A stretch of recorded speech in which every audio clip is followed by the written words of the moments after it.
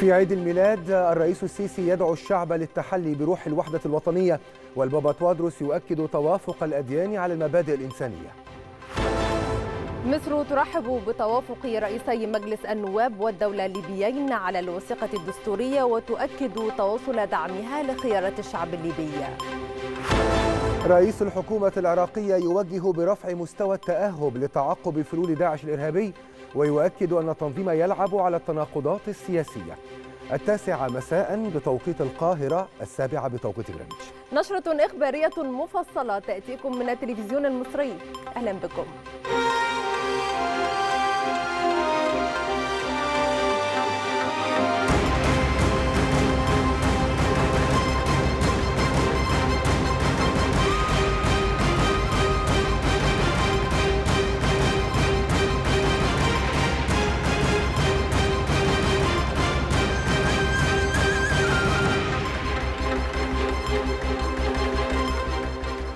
كل عام وحضراتكم بألف خير. تقدم الرئيس عبد الفتاح السيسي بالتهنئة بعيد الميلاد المجيد من كاتدرائية ميلاد المسيح بالعاصمة الإدارية الجديدة. وخلال كلمة له دعا الرئيس السيسي أن يكون هذا العام عام سلام وخير وأمن وأمان ومحبة على العالم بأسره.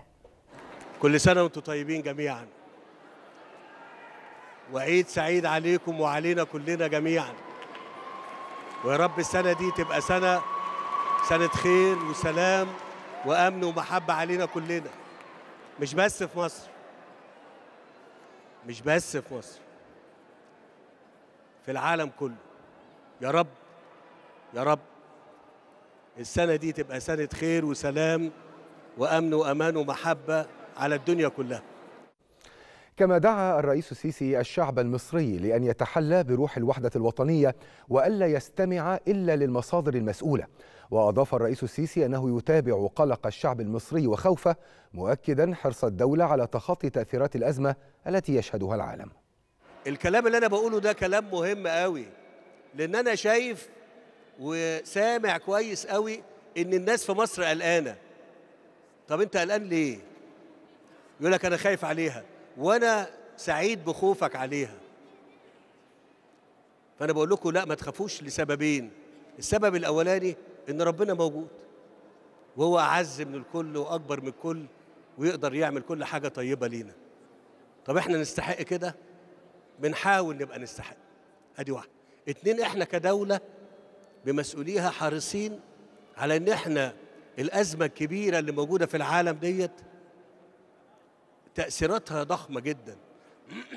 الدنيا هتبقى بعد الأزمة الأخيرة ديت هتبقى مختلفة عن الدنيا اللي إحنا شفناها قبل كده. والأزمة الاقتصادية دي هتأثر في دول كتير لو استمرت الحرب دي السنة دي أو أكتر. طب إحنا إحنا فين؟ إحنا الحمد لله رب العالمين ماشيين كويس وإن كنا بنعاني يعني بنعاني آه لكن آه ما نخافش ما نقلقش.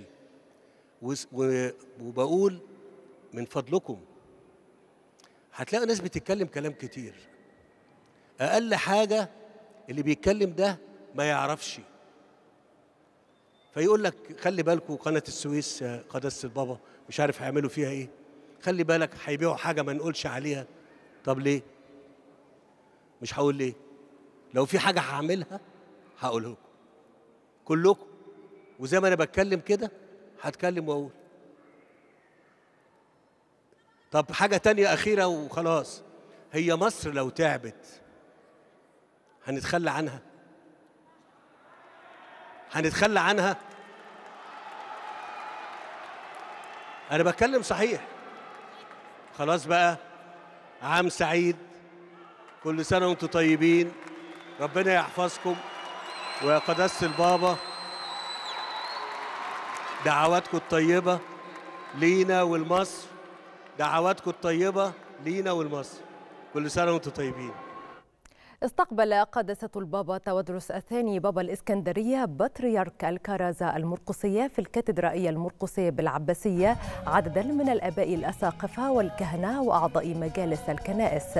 جاء ذلك في إطار تقديم التهاني بمناسبة عيد الميلاد المجيد حيث حرص البابا تودرس الثاني على مصافحتهم والتحدث معهم وتهنئتهم بالعيد.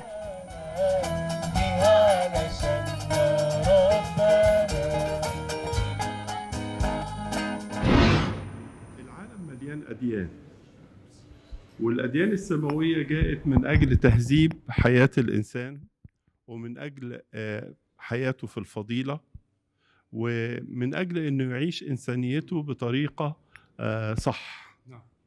عشان كده الأديان لو ظهر فيها أي اختلافات الاختلافات دهيت بطبيعة كل دين في كده لكن الأديان بصفة عامة تتوافق على المبادئ الإنسانية والحياة البشر والمعاملات بين البشر وبين الإنسان في التربية في الأخلاق في النشأة في الأمانة في الإخلاص. كل دي مبادئ موجودة في كل الأديان. عشان كده الأديان تتوافق على هذه المبادئ الإنسانية والاجتماعية. شارك عدد من المحافظين والقيادات التنفيذية والشعبية والأمنية بالمحافظات الإخوة الأقباط في احتفالاتهم بمناسبة عيد الميلاد المجيد. كما قام وفد من المنطقة الأزهرية بالوادي الجديد يضم علماء من الأزهر الشريف ومنطقة الوعظ بتهنئة أسقف كنائس الوادي الجديد مؤكدين أن مصر وطن يستوعب الجميع لتحقيق المزيد من التنمية والاستقرار. على جانب آخر أكد المسؤولون والمشاركون أن تلك الفرحة التي تعم البلاد تعد تجسيدا لعظمة الوطن الذي ضرب أروع الأمثلة في التماسك بين مكونات مجتمعه والروح الوطنية الخالصة التي تسود أفراده. مشيرين إلى أن مصر ستظل دائما رمزا للأمن والأمان والمحبة لوحدة شعبها بكافة أطيافه.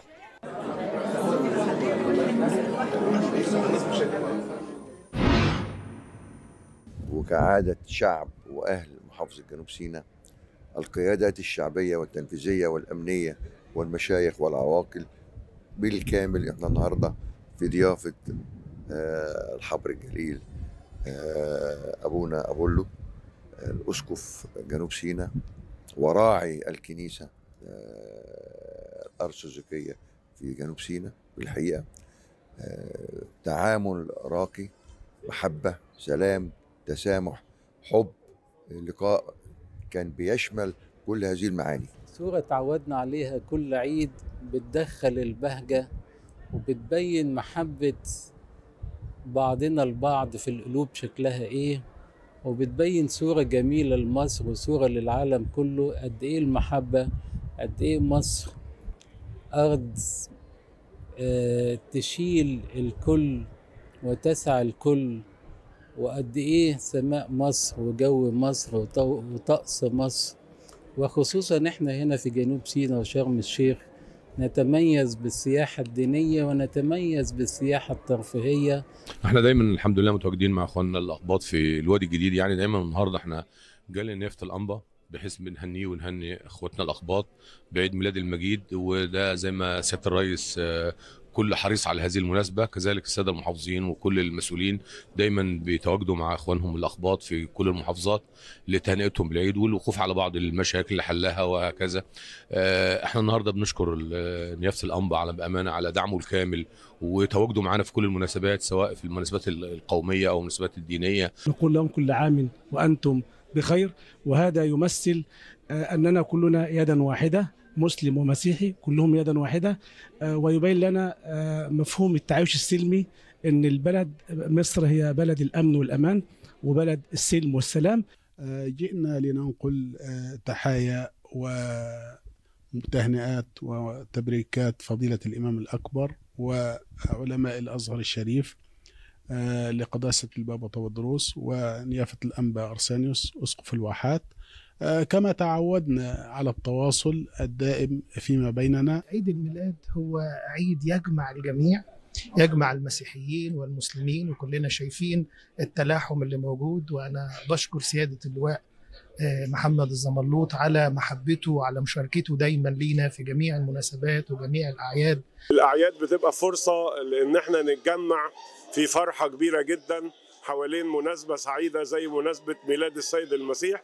ربنا يحفظ بلادنا العظيمة مصر ويحفظ كل قياداتها دايما في سلام وفي حفظ الله وتحيا مصر إلى الأبد. اليوم ده بالنسبة لنا يوم سعيد جدا بننتظره من السنة للسنة. آه يمكن بنشوف ناس ما شفناهاش بقى لنا فترة يمكن ده التجمع السنوي بتاعنا لكن آه المحبة اللي موجودة بين والشعور اللي موجود بين سواء المسلمين أو الإخوة المسيحيين في محافظه بورسعيد آه شيء يعني طبعا مش محتاجين ندلل عليه لأن ده ده حياتنا اليومية بنعيشها. بيغلفنا المحبة. كلنا النهارده متجمعين عشان نقول لبعض كل سنة وأنتم طيبين في إطار محبة. إحنا هنا بورسعيد نسيج واحد. مهما كل المحافظات بس بورسعيد ليها طابع خاص قوي إن إحنا كلنا عيلة واحدة. استقبلت الكنيسة المعلقة إحدى أقدم وأهم الكنائس القديمة في مجمع الأديان الزوار والمحتفلين من مصر والعالم وسط أجواء احتفالية مبهجة. وانطلقت أجواء الاحتفالات التي جمعت مختلف الجنسيات إلى مناطق أخرى بمجمع الأديان. كل عام وكل المصريين بخير. عيد ميلادي مجيد يحتفل فيه المصريون بمختلف المناطق بمظاهر المحبة والفرحة على أرض السلام. وليس هناك رمز للسلام أفضل من هذا المكان بمنطقة مصر القديمة وهو مجمع الأديان الذي يحتضن الرسالات السماوية الثلاث. ليكون قبلة سياحية هامة بمكانته التاريخية والدينية للمصريين والعالم. ليحتفلوا وسط عبق التاريخ في الماضي وبروح المحبة والتآخي في الحاضر لبناء مصر المستقبل.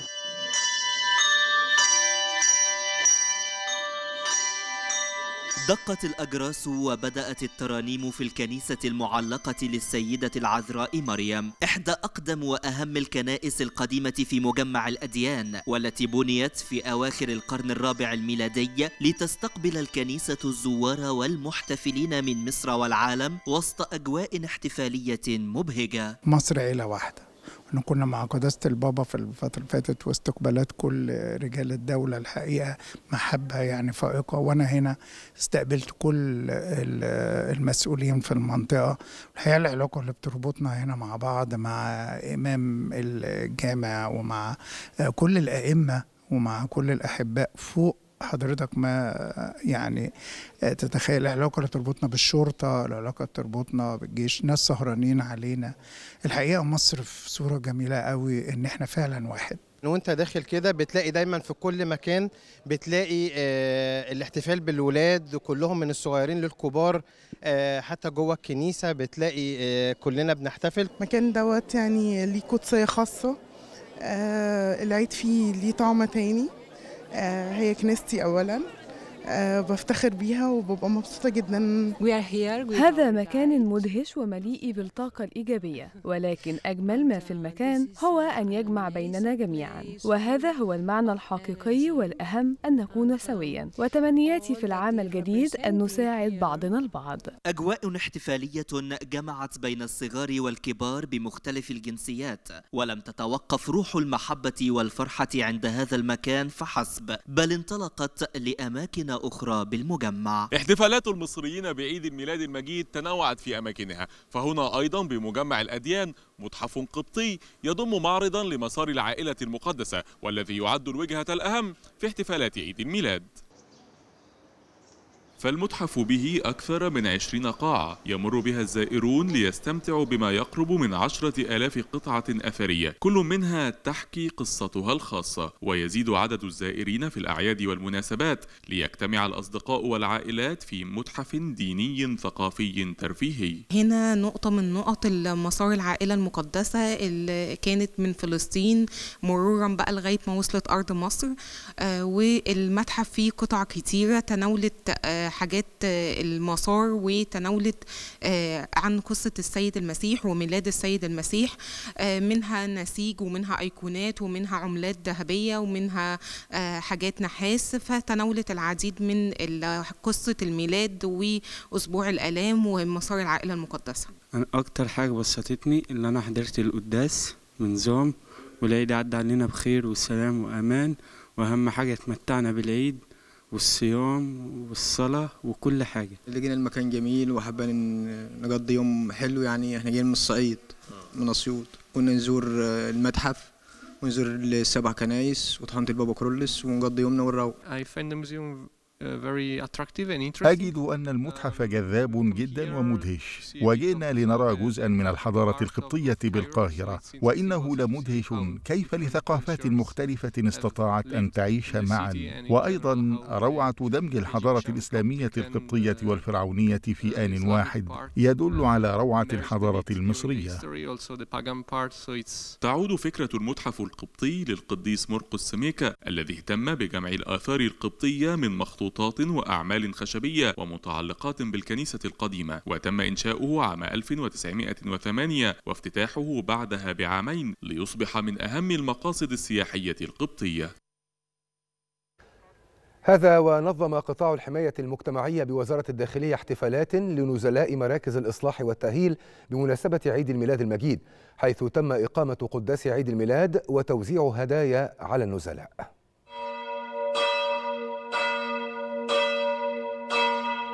تنساب ترانيم عيد الميلاد المجيد بين جنبات مراكز الإصلاح والتأهيل فقد رعي عند إنشائها تخصيص دور للعبادة لتتناسب مع إحياء المناسبات والشعائر الدينية تم تجهيزها لتبدو كدور العبادة في الخارج مع وجود رجال الدين المسيحي وسط النزلاء لتقديم الوعظ لهم.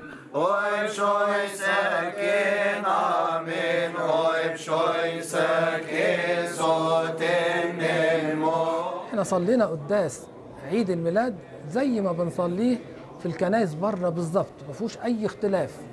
كله كامل قداس كامل وألحان كاملة وكل حاجة صليناها كاملة. زمان كنا بندور على مكان ربنا مبارك دلوقتي عندنا كنيسة ربنا يبارك ويديم لنا رئاسة سيادة الرئيس عبد الفتاح السيسي. الصراحة التواجد الفعلي والحب الحقيقي اللي ظاهر ده ملموس ما هوش كلام. لينا وجود لينا حياة ال- الولاد بيخشوا يقضي صلاتهم الدينية في وقت اللي هم عاوزينه. الإخوة النزلاء حاليا في الأيام دي بيعيشوا أفضل أيامهم حقيقي هو بينفذ عقوبة لكنه معد ليه مكان مؤهل منظم بيرتفع في مستواه الإنساني ده شيء انفرد به التاريخ في هذا الزمن.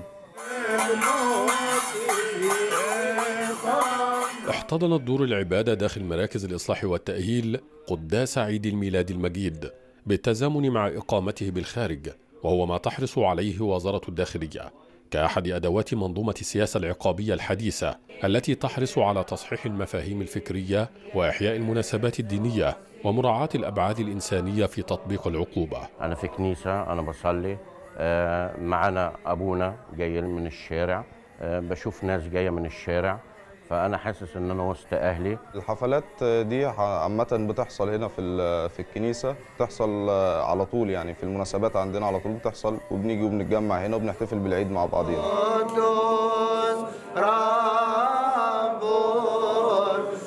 أجواء العيد تسيطر على المكان والفرحة بين النزلاء كانت كبيرة بعد أن هيأ قطاع الحماية المجتمعية كافة السبل لإقامة القداس. لتعزيز الجوانب الروحية التي تسهم في تقويم النزلاء وتقويم سلوكياتهم. مقضي العيد حاسس إن أنا وسط ناس فعلا بتحبني وبتخاف عليا. ودي بفضل الجهود المبذولة لوزارة الداخلية والقيادة السياسية اللي فعلا بتنقل بلدنا لجمهورية جديدة. بالفعل وليس بالكلام. مراكز الإصلاح والتأهيل عند إنشائها. كان الحرص من وزارة الداخلية على تجهيز أماكن للعبادة بها. لإحياء المناسبات وإقامة الشعائر الدينية كأحد متطلبات حق الإنسان والتي تتماشى مع المعايير الدولية لحقوق الإنسان. ده مجد ربنا دي إيد ربنا وسطينا إن عشان يقول لنا إن كلنا واحد. ربنا يوفقكم جميعا يا رب ويسعدكم جميعا يا رب عيد سعيد عليكم جميعا.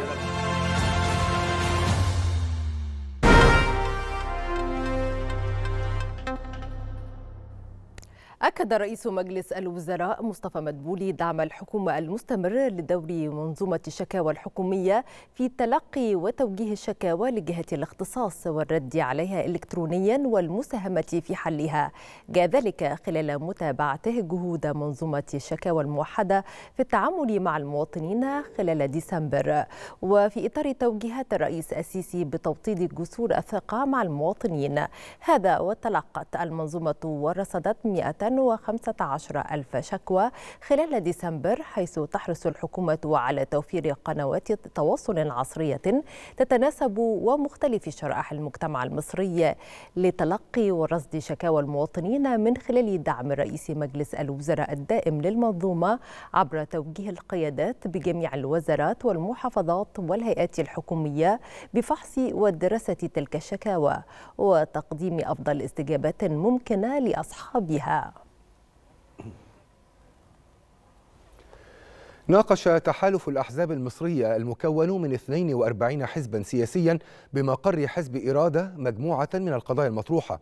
تأتي تلك المناقشات في إطار الحوار الوطني حيث ناقش الاجتماع لجان الحوار فضلا عن تهنئة البابا توادروس والإخوة الأقباط بعيد الميلاد المجيد. كما ناقش التحالف رؤية الأحزاب للاحتفال بالعيد الحادي والثمانين للشرطة في الخامس والعشرين من يناير فضلا عن التطرق لبعض المحاور السياسية الأخرى. الحوار الوطني مهم قوي في كل مخرجات اللي هتخرج منه وخاصة إن إحنا عدد كبير قوي بيتكلم في كل شيء يخص المواطن المصري كل شيء يخص الدولة المصرية. عشان نقدر نطلع بتوصيات التوصيات دي تتعرض على سيادة الرئيس يبتدي الموضوع يبقى في حيز التنفيذ. إحنا النهارده بنعيش أيام العالم كله بيعيشها واللي يقول لك العالم ما بيعيشهاش لا العالم كله بيعيشها من ظروف اقتصادية صعبة من نتيجة الحرب الأوكرانية. ودي حقيقة ما هياش يعني مش كلام بيتقال وخلاص. والحقيقة دي مش بتأثر على مصر بس مأثرة على كل العالم كله. الكلام ده بيبقى بيخلينا نبتدي ندرس الأمور الاقتصادية إيه اللي نقدر نقدمه من مقترحات إيه المعوقات اللي بتقابل الصناعة والزراعة. وجهات نظرنا إيه إن إحنا نعرضها ونحطها في نقاط. اجتماع كان ليه أكتر من محور. الأول تهنئة الشعب المصري والإخوة الاقباط بالعيد المجيد. آه بعد كده آه الاستعداد للاحتفال بعيد الشرطة في يناير. ثم مناقشة المحور السياسي على أساس أنه بنستعد للحوار الوطني هينطلق قريبا وبنعد للممثلين للأحزاب السياسية اللي هتمثل الأحزاب في الحوار الوطني. التحالف ناقش الإجراءات والاستعدادات للاحتفال بعيد الشرطة يوم 25 يناير. وفي بعض التصورات لا يعني ما مش هيسع المجال الآن إن إحنا أشرحها لحضراتكم استكمال مناقشة الحوار الوطني والمحور السياسي في الحوار الوطني. توجيه التهنئة لشركاء الوطن الإخوة المسيحيين والبابا توادرس لأن مصر دي دولة يعني بتتسع للجميع دولة المواطنة وليس فيها فرق بين أي مواطن وآخر. والجميع يعلم كده تماما لأن مصر بتطبق يعني أعلى معايير لحقوق الإنسان على مستوى العالم. تواصل وزارة الداخلية حملاتها اليومية لمتابعة أسعار السلع الاستراتيجية وضبط قضايا حجب السلع والبيع بأسعار أزيد من السعر الرسمي. وتمكنت الداخلية خلال 24 ساعة من ضبط 379 قضية تموينية مستندية وعينية بمضبوطات بلغت قرابة 293 طن. مواد غذائية وغير غذائية. وفي مجالي حجب السلع الاستراتيجية والاستيلاء على السلع المدعومة تم ضبط قرابة تسعة أطنان. وفي مجال حجب أرز الشعير والأبيض وعدم توريد أرز الشعير والبيع بأزيد من السعر الرسمي للأرز الأبيض تم ضبط أكثر من 261 طنا. وفي مجال البيع بأزيد من السعر الرسمي للسلع الغذائية وغير الغذائية تم ضبط أكثر من 13 طنا. وفي مجال البيع بأزيد زيادة من السعر الرسمي لمواد البناء تم ضبط عشرة أطنان أسمنت.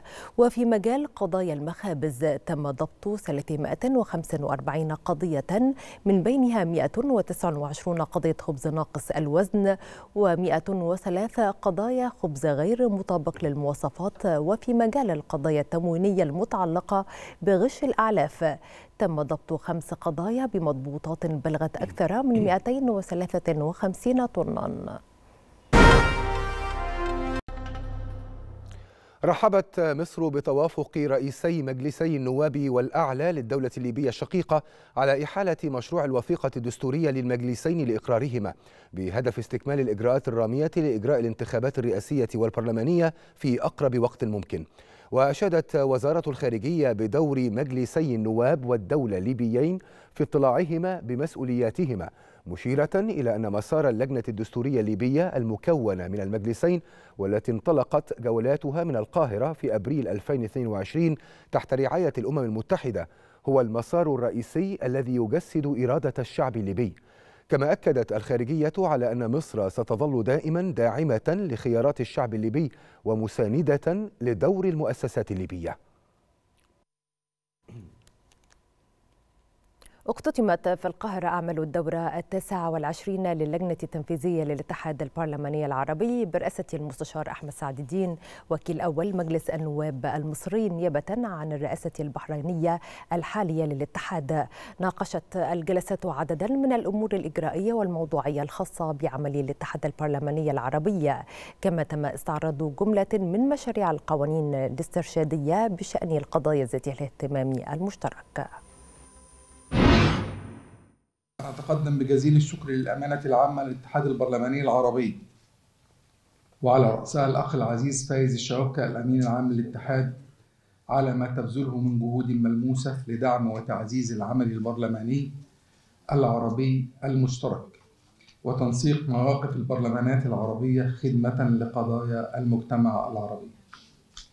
الزملاء الأفاضل لقد سبق اجتماعنا هذا عددا من الاجتماعات لبعض لجان الاتحاد التي ناقشت موضوعات هامة ضمن أولويات العمل البرلماني العربي.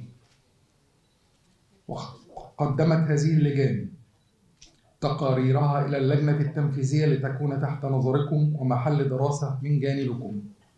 وإنني على ثقة تامة بأن اجتماعنا الحالي سيصل بنتائجه ومخرجاته إلى المستوى المأمول. هذا وقد أشادت الوفود المشاركة في أعمال اللجنة التنفيذية للاتحاد البرلماني العربي باستضافة القاهرة لاجتماعات اللجنة على مدار أربعة أيام وما أسفر عنها من نتائج ملموسة في تعزيز الحوار بين المجالس البرلمانية العربية. استضافت القاهرة على مدار الثلاث أيام الماضية اجتماع اللجنة التنفيذية للاتحاد البرلماني العربي والاجتماعات المصاحبة كان جدول الأعمال أو عدة موضوعات منها القوانين الاسترشادية منها تعديل نظام وميثاق الاتحاد البرلماني العربي قضايا كثيرة بحثت إقرار الموازنة الاتحاد إقرار استراتيجية للأعوام الأربعة القادمة. الحمد لله كانت الأعمال يعني كان الحضور مميز من حيث عدد الدول التي شاركت. قامت شعبة البحرين بدور كبير خلال الفترة السابقة. إحنا كنا على أعتاب مجلس منتخب جديد فارتأت البحرين شعبة البحرين نقل رئاسة الاجتماعات إلى جمهورية مصر العربية الذي قامت بدور جدا كبير في هذا الاجتماعات وإحنا كنا مساندين إليهم وإحنا نفخر بهذه الشراكة بين الشعب البرلمانية البحرينية والشعب البرلمانية المصرية. مناقشة في هذا الاجتماع عدة محاور سواء من تقرير الأمين العام للاتحاد حول تنفيذ قرارات المؤتمر الثاني والثلاثين للاتحاد وكذلك تقرير لجنة الجائزة والتميز البرلماني العربي استراتيجية الاتحاد البرلماني العربي للفترة من 23 إلى 26 وتحدثت كذلك عن محور عن مشروع جدول أعمال المؤتمر القادم ال 34 للاتحاد البرلماني العربي. وجه رئيس الوزراء العراقي محمد شياع السوداني ببذل جهود أكبر ورفع مستوى التأهب لتعقب فلول تنظيم داعش الإرهابي واستئصالها من جذورها. وخلال زيارته لجهاز مكافحة الإرهاب بالعاصمة بغداد قال السوداني إن الإرهاب يحاول أن يلعب على التناقضات السياسية لتحقيق أهدافه الخبيثة مشددا على ضرورة رفع مستوى الاستعداد والتدريب بالجهاز لتحقيق الأهداف المرجوة. ووجه رئيس الوزراء العراقي بإزالة الكتل الأسمنتية عن بوابات المنطقة الخضراء وسط بغداد.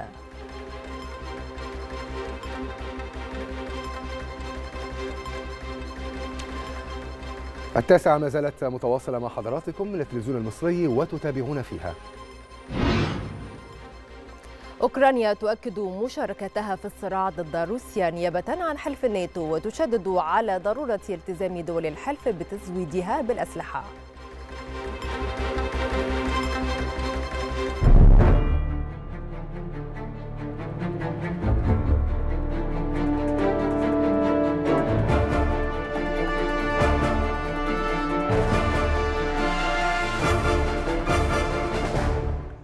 أقر وزير الدفاع الأوكراني أولكسي ريزنكوف بأن قواته تنفذ مهام حلف الناتو وتشارك في الصراع ضد روسيا نيابة عن الحلف. وقال ريزنكوف إن أوكرانيا تقاتل بمفردها بالنيابة عن الغرب معتبرا أن دول الناتو ملتزمة بتزويد كييف بالأسلحة.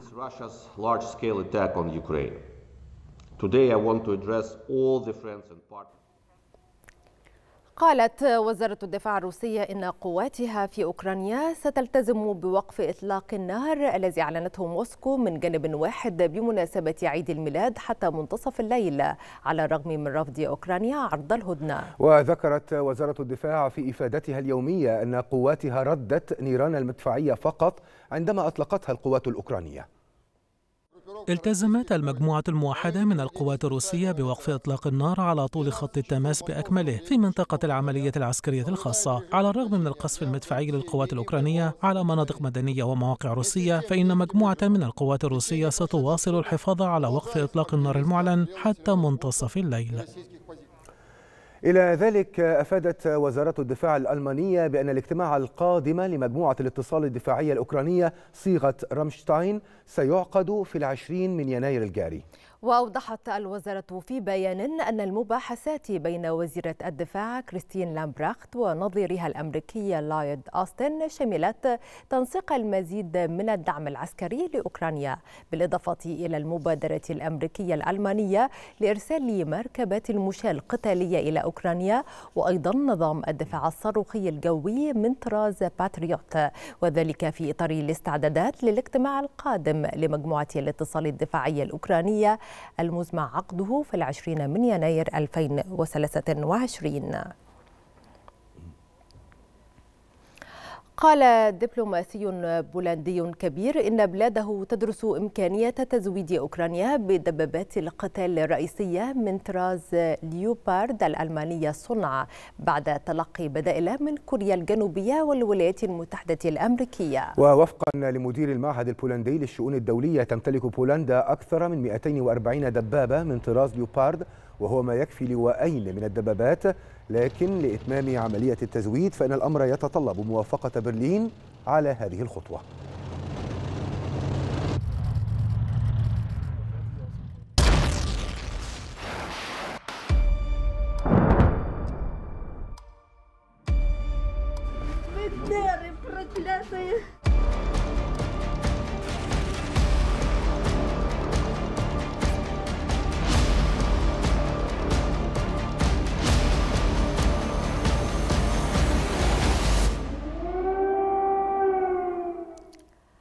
أعلنت نائبة رئيس الوزراء الروسية فيكتوريا أبرامشينكو أن بلادها عززت صادراتها الغذائية إلى الدول الصديقة بنسبة 25% على أساس سنوي في عام 2022 وقالت أبرامشينكو إن قدرة روسيا على تعزيز الصادرات إلى 150 دولة جاءت رغم بعض الصعوبات الفنية بسبب العقوبات الغربية. وأوضحت وزارة الزراعة الروسية أنها نجحت في إعادة توجيه صادراتها إلى أسواق أخرى استجابة للعقوبات التي فرضها الغرب. وذلك بالتركيز على دول مثل الصين وكازاخستان в формате э, технико-экономического обоснования. И вот э, в настоящее время ذكرت صحيفة الجارديان البريطانية أن واحدا فقط من كل خمسة قطارات في جميع أنحاء بريطانيا سيتم تشغيله بعد انتهاء إضراب دام 48 ساعة من قبل أعضاء نقابة عمال السكك الحديدية والبحرية والنقل. ومن المقرر أن يلتقي زعماء النقابات ورؤساء السكك الحديدية وزير السكة الحديد البريطاني بعد غد الاثنين لاستئناف المحادثات من أجل حل النزاع المستمر منذ فترة طويلة. هذا وقد ذكرت وزارة النقل البريطانية في وقت سابق أن مشغل القطارات أرسلوا عرضا مكتوبا لاتحاد سائق القطارات بزيادة الأجور بنسبة تصل إلى 8% على مدار عامين.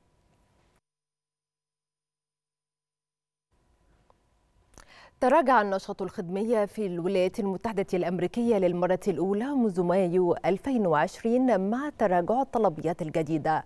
وكشفت بيانات معهد الإمدادات الأمريكي أن مؤشر مدير المشتريات الخدمي بلغ 49.6 نقطة في ديسمبر الماضي مقابل 56.5 نقطة في نوفمبر السابق له مقارنة بتوقعات تسجيل 55 نقطة.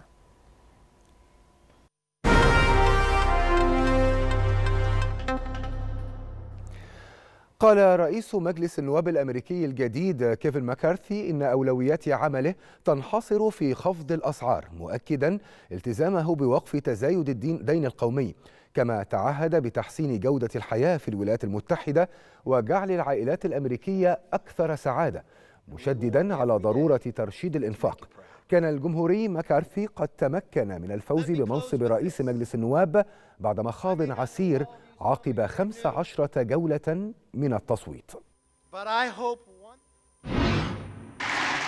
بعد 14 جولة متعثرة تمكن زعيم الأغلبية الجمهورية كيفن ماكارثي أخيرا من الفوز برئاسة مجلس النواب الأمريكي وذلك في الجولة الخامسة عشرة من التصويت. ماكارثي تغلب على المقاومين من حزبه والتوترات في المجلس بعد أسبوع فوضوي اختبر قدرة الأغلبية الجديدة للحزب الجمهوري على حكم البلاد. وبعد أربعة أيام من عمليات الاقتراع المرهقة تمكن ماكارثي من إقناع أكثر من عشرة من المحافظين الرافضين له ليصبحوا من مؤيديه. بذلك فاز ماكارثي على المرشح الديمقراطي حكيم جيفرز بعد أن أدلى السياسي رايان زينكي من ولاية مونتانا بصوته مانحا ماكارثي الفوز الذي كان ينتظره منذ أيام. فمن بين 228 صوتا تم الإدلاء بها حصل ماكارثي على 216 صوتا فيما حصل جيفرز على 212 صوتا. وبعد جولة التصويت الحاسمة هنأ الرئيس الأمريكي جو بايدن زعيم الجمهوريين الجديد وأبدى استعداده للعمل معهم إذا كانوا مستعدين للعمل معه. تحول مذهل شهدته الأحداث في الجولة الخامسة عشرة تحت قبة النواب الأمريكي بعد أن وافق مكارثي على العديد من مطالب المنتقدين بما في ذلك إعادة العمل بقاعدة مجلس النواب التي من شأنها أن تسمح لأي عضو بالدعوة للتصويت لعزله من منصبه. هكذا انتزع مكارثي الفوز وأنهى به أزمة لم تشهدها الولايات المتحدة منذ 160 عاما.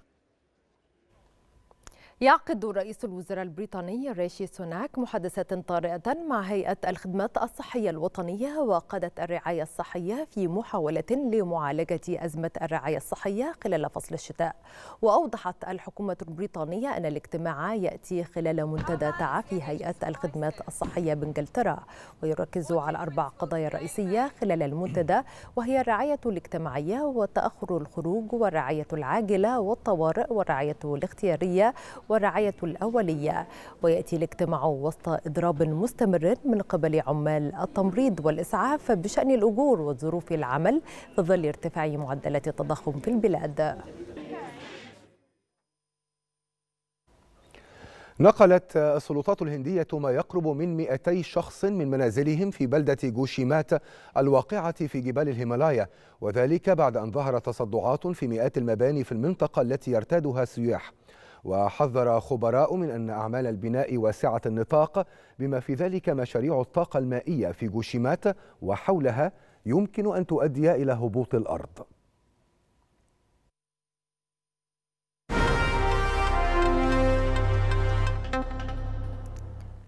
نفى المركز الإعلامي لمجلس الوزراء صحة ما تم تداوله من أنباء بشأن إصدار قرار بحذف أجزاء من المناهج في امتحانات الفصل الدراسي الأول لصفوف النقل خلال العام الحالي 2022-2023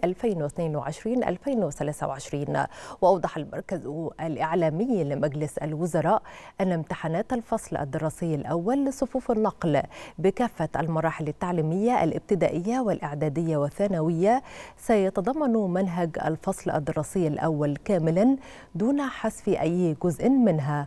موضحا أن كافة الأسئلة ستكون من داخل المناهج المقررة على أن يتم بناء الأسئلة وفق المواصفات الفنية للورقة الامتحانية وتخاطب جميع المستويات الطلابية. عقدت تنسيقية شباب الأحزاب والسياسيين صالونا نقاشيا حول التعليم الجامعي والتكنولوجي وذلك في إطار اهتمام التنسيقية ومناقشتها لأهم القضايا التي سيتم طرحها خلال الحوار الوطني. وأكد المشاركون أن الدولة تسعى لزيادة ميزانية التعليم لتصبح 100 مليار جنيه بحلول عام 2030 بالإضافة للتوسع في الجامعات الأهلية. هنتكلم على الجامعة فالجامعة واجب عليها إن هي تعيد النظر في المناهج التعليمية وطرق أي نعم هي شغالة بس عايزين أكتر. تعيد النظر في المناهج التعليمية وطرق وطرق تدريسها. وإعداد الكادر بتاع هيئة التدريس اللي تقدر توصل المناهج دي وتبدأ تحط شوية البحث العلمي في في المناهج بتاعتها بشكل أكبر من كده وأشمل من كده. وكمان تبدأ تبص من سوق العمل يعني الموضوع ينزل من فوق لتحت يعني نشوف في فعلا وظائف هتندثر بطبيعة الحال وفي وظائف جاية جديدة علينا. freelancing واخد وضع تاني ال technology وضع وضع تاني مش محتاجين حتى الاولاد يسافروا ويجيبوا عملة صعبة هو بيشتغل هنا ويجيب عملة صعبة. يبقى دي أول حاجة إن إن الجامعة تعيد النظر في المناهج التعليمية.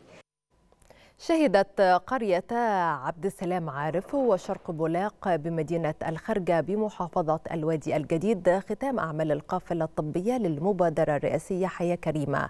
واستمرت القافلة الطبية لمدة يومين بالوحدة الصحية للقريتين حيث تم توقيع الكشف الطبي على المواطنين وتم صرف لهم العلاج بالمجان من صيدلية القافلة. وتأتي تلك الجهود في إطار توجهات الدولة المصرية لتوفير الخدمات الطبية الطبية والعلاجية للمواطنين في القرى المحرومة والمحافظات الحدودية.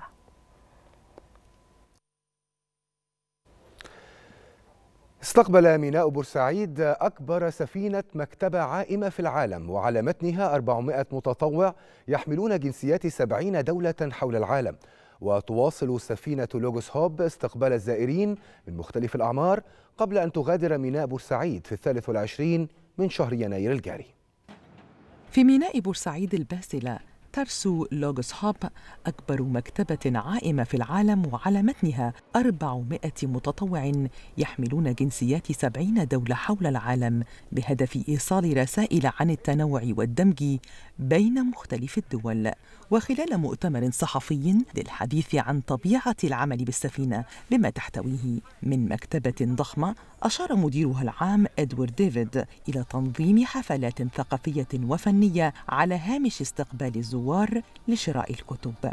ومن جانبه قال قبطان السفينة جيمس بيري إن طاقم المتطوعين الدوليين بالسفينة يكرسون أنفسهم لمشاركة المعرفة والمساعدة والأمل مع الناس في جميع أنحاء العالم لافتا إلى أن السفينة قامت بزيارة أكثر من 150 دولة وإقليم منذ عام 1970 واستقبلت 49 مليون شخص.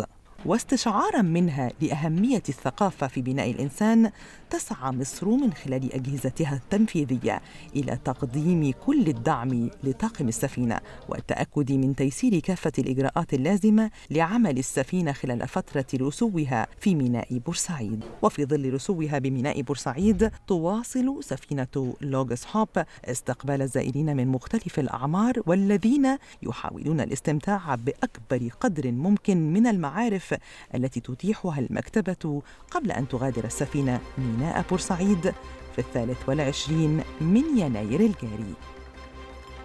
والآن موعد وقفتنا الاقتصادية في نشرة التاسعة. مع رجائي رمزي إليك رجائي. شكرا دينا شكرا محمد. إذا مشاهدينا أخبار المال والأعمال نتابعها وإياكم في هذه الوقفة الاقتصادية.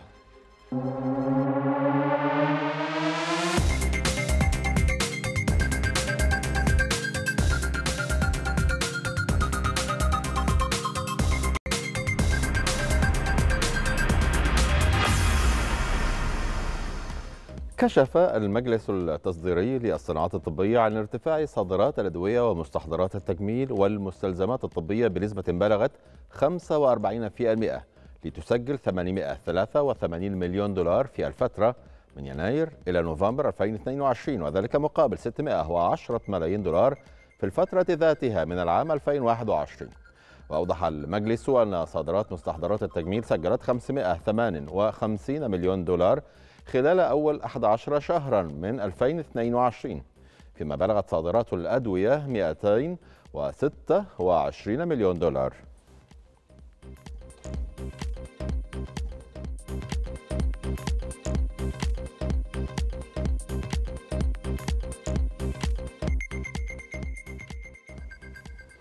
حققت الصادرات الزراعية ولأول مرة في تاريخها حجما بلغ نحو 6.5 ملايين طن بقيمة بلغت حوالي 3.3 مليارات دولار وبزيادة بلغت 800 ألف طن عن العام الماضي.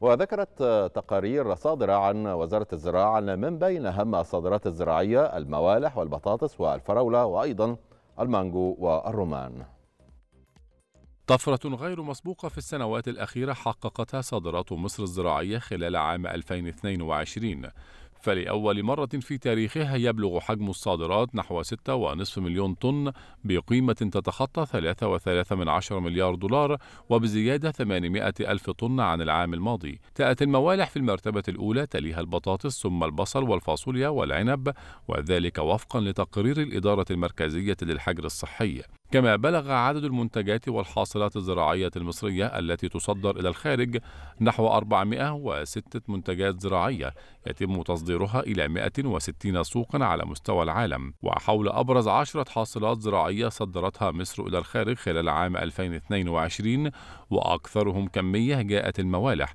بواقع 1.8 مليون طن والبطاطس بواقع 871 ألف طن. والبصل بواقع 578 ألف طن. أرقام كاشفة تؤكد مضي الدولة في طريق الإصلاح الزراعي والنهضة الشاملة كما تؤكد على نجاح القيادة السياسية في النهوض بالقطاع الزراعي من عثراته المتكررة ووضعها التنمية الزراعية على رأس أولويات التطوير من خلال النهوض بحياة المزارعين وتذليل العقبات أمام المصدرين كما تشير الأرقام إلى جهود مكاتب التمثيل التجاري وسفارات مصر بالخارج في فتح أسواق جديدة للحاصلات الزراعية المصرية في الخارج ومتابعتهم المستمرة لضمان تطبيق المعايير العالمية للصحة النباتية وتجديد الرقابة على الحاصلات الزراعية مما يصب في صالح سمعة الصادرات الزراعية المصرية التي توصف بالأفضل في العالم وإلى البورصة المصرية التي سجلت اداء ايجابيا خلال تعاملات الأسبوع الأول من العام الجاري. ارتفع المؤشر الرئيسي للبورصة EGX 30 بنسبة بلغت 9.62% كما صعد مؤشر الأسهم الصغيره والمتوسطه EGX 70 بنسبة بلغت 4.25% كذلك سجل مؤشر EGX 100 صعودا بنحو 5.38%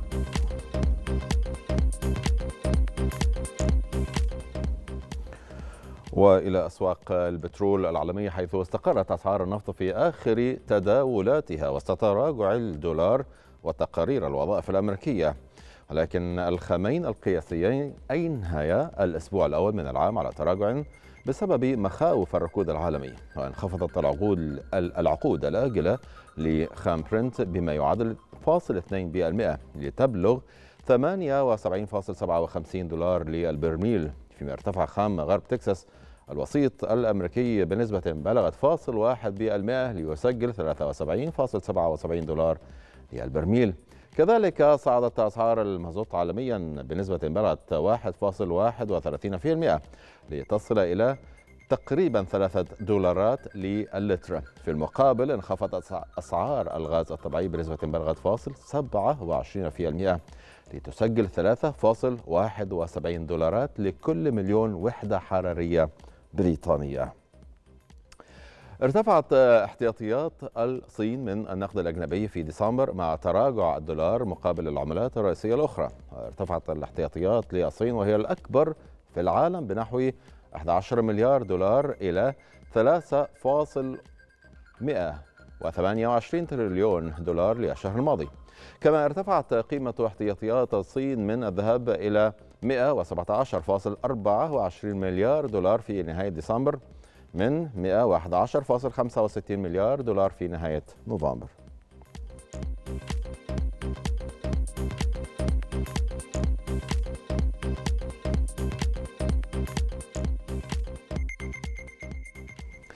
نهاية أخبارنا الاقتصادية مشاهدينا عودة مجددا إلى دينا ومحمد. إليكم. شكرا لك رجائي.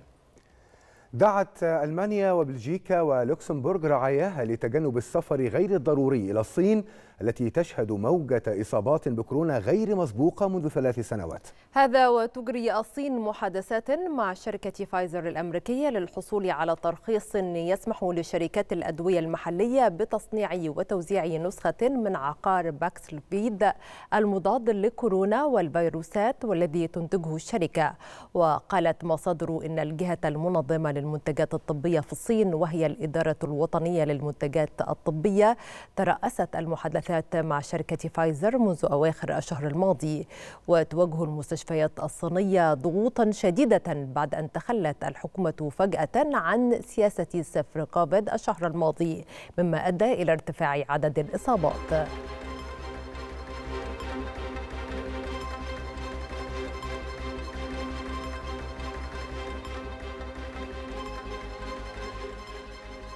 والآن جولة في أخبار الرياضة. يستعرضها لنا مرة أخرى رجاء رمزي في وقفة ثانية. تفضل رجاء شكرا محمد شكرا دينا مشاهدينا أخبار الكرة والملاعب. نتابعها وإياكم في هذه الوقفة الرياضية.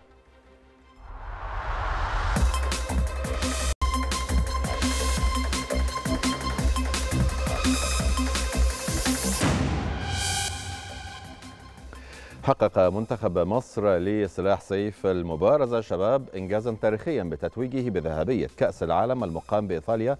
ذلك بعد الفوز على منتخب المجر في النهائي بنتيجة 45 44 تأهلت مصر للنهائي بعد الفوز على إيطاليا صاحبة الأرض في نصف النهائي بنتيجة 38 35 بعد مباراة قوية حسمت في الثانية الأخيرة. كان المنتخب الوطني قد فاز على المنتخب الألماني في دورة 16 بنتيجة 45-26 قبل أن يواصل الفراعنة الصغار تألقهم والفوز على بولندا بنتيجة 45-32 وتأهل لنصف النهائية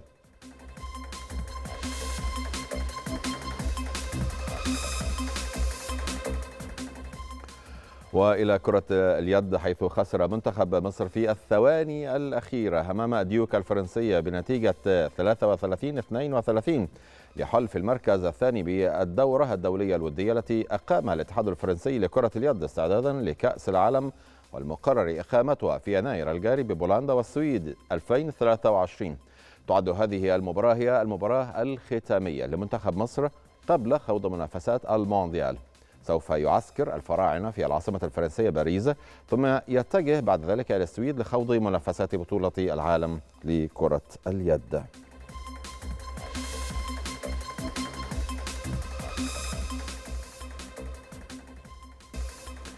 وضمن الجولة ذاتها حقق المصري البورسعيدي فوزا صعبا على الاتحاد السكندري بهدفين مقابل هدف وذلك في المباراة التي جمعت ما بين الفريقين على استاد برج العرب.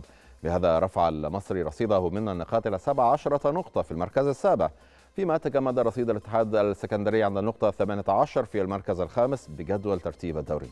في مباراة أخرى حقق فريق فيوتشر فوز على سيراميكا كيلوباترا بنتيجة 3-2 وبتلك النتيجة ارتفع رصيد فيوتشر إلى 6 أو 26 نقطة بالمركز الثاني وذلك على حساب نادي الزمالك الذي تراجع إلى المركز الثالث برصيد 25 نقطة. فيما تجمد رصيد سيراميكا كليوباترا عند 15 نقطة يحتل بهم المركز الثامن.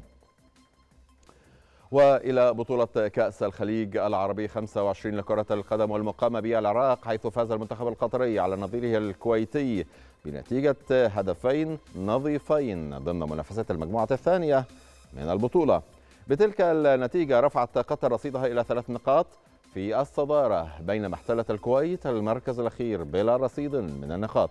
في مباراة أخرى فازت البحرين على الإمارات بنتيجة هدفين لهدف على أساد الميناء الدولي بمدينة البصرة ليحتل المنتخب البحريني المركز الثاني. فيما يحتل المنتخب الإماراتي المركز الثالث وبفارق الأهداف عن الكويت. والى الليغا الأسبانية حيث خسر ريال مدريد أمام نظيره في ريال بهدفين مقابل هدف في المباراة التي جمعت ما بين الفريقين ضمن الجولة السادسة عشر من عمر الدوري. ورفع في ريال رصيده إلى 27 نقطة ليقفز إلى المركز الخامس. فيما توقف رصيد ريال مدريد الذي يحتل المركز الثاني بجدول الترتيب الدولي عند 38 نقطة وبفارق الأهداف عن برشلونة الذي بات لديه فرصة للتصدر منفرده عندما يلتقي بأتلتيكو مدريد في العاشرة من مساء الغد. نهاية جولتنا في الملاعب. مشاهدينا عودة مرة أخرى. إلى الزملاء إليكم. شكرا رجاء رحم الله الفنان القدير حمدي غيث الآن موعدنا مع الوقفة الخاصة باستعراض أحوال الطقس والنشرة الجوية وقفة أخيرة مع رجاء رمزي إليك رجائي. شكرا نادينا. شكرا محمد. مشاهدينا توقعات أخبار الأرصاد الجوية نتابعها وإياكم في هذه النشرة الجوية.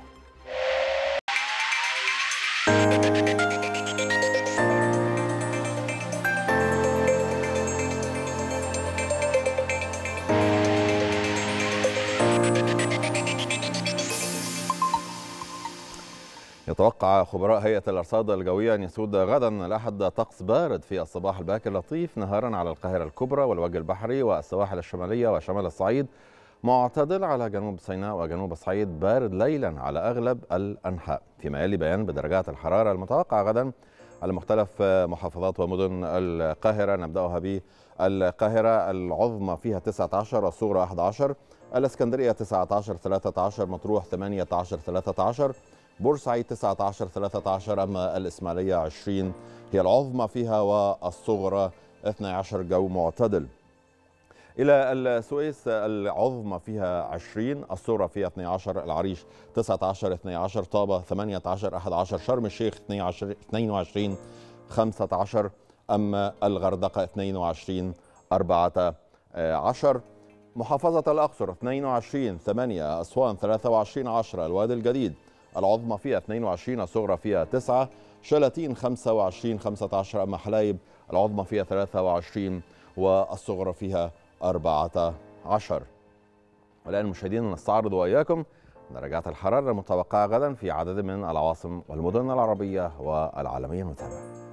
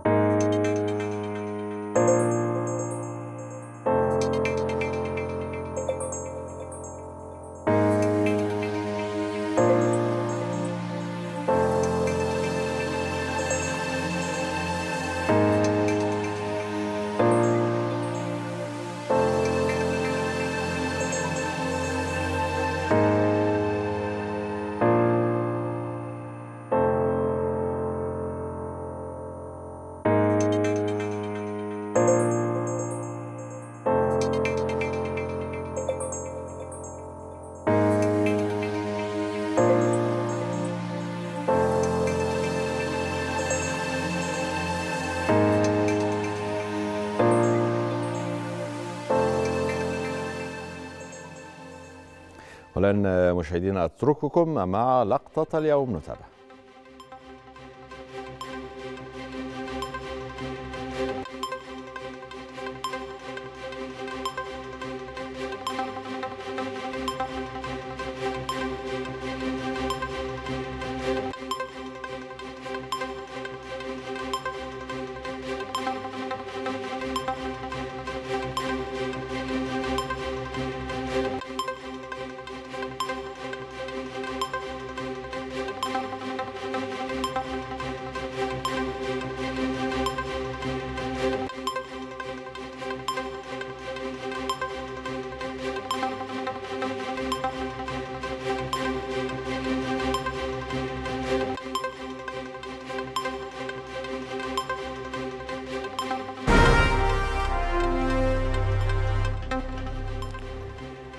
انتهت نشرة التاسعة وهذا تذكير بأبرز عناوينها. في عيد الميلاد الرئيس السيسي يدعو الشعب للتحلي بروح الوحدة الوطنية والبابا توادروس يؤكد توافق الأديان على المبادئ الإنسانية. مصر ترحب بتوافق رئيسي مجلسي النواب والدولة الليبيين على الوثيقة الدستورية وتؤكد تواصل دعمها لخيارات الشعب الليبي. رئيس الحكومة العراقية يوجه برفع مستوى التأهب لتعاقب فلول داعش الإرهابي ويؤكد أن التنظيم يلعب على تناقضات سياسية.